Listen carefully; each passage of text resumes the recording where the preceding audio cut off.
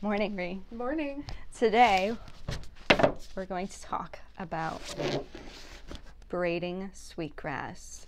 I love it when they take an adult nonfiction book and they readapt it for young readers because this isn't a book that you will necessarily not understand, but there might be parts of it that just aren't interesting or uh, language choices in it that you haven't been exposed to just yet.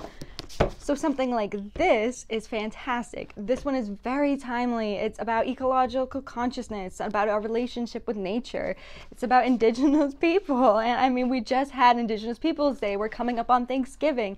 This is a fantastic one if you want to feel connected to the world that we're in and maybe figure out how you can act more ecologically conscious moving forward.